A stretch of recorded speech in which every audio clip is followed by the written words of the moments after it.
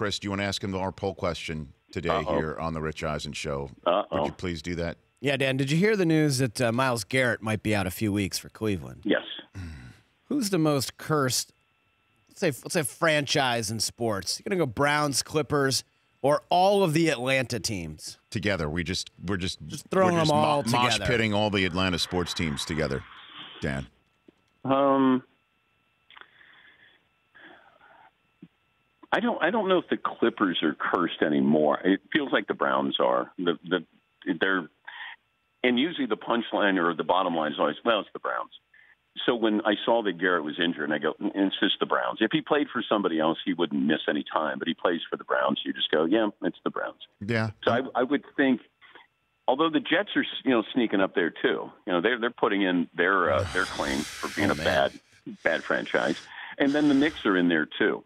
I would probably look at the Knicks as the and they're not cursed; they're just the most mismanaged. yeah. Well, that, that could be a curse in itself too, and you could say that about the Jets. I mean, you know, I, I, I, I mean, we, we were toying about putting the Indians in there too, but it's tough to put a team that's won 14 straight games in a row for a second straight year in that mix right now. But um, And by the way, who Mm-hmm. did the Jets just pick up? mm, Jeremy Curley.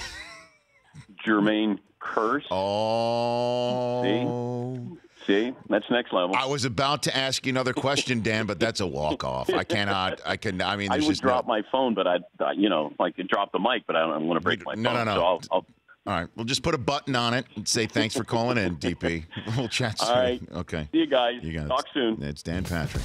The Rich Eisen Show, weekdays at noon Eastern on radio stations across the country and audience. If you like that, please download our app. There's lots of fun things there other than just more of the videos you just saw. You can call us from the app, you can email us from the app. Just download it. Trust me, you'll enjoy it.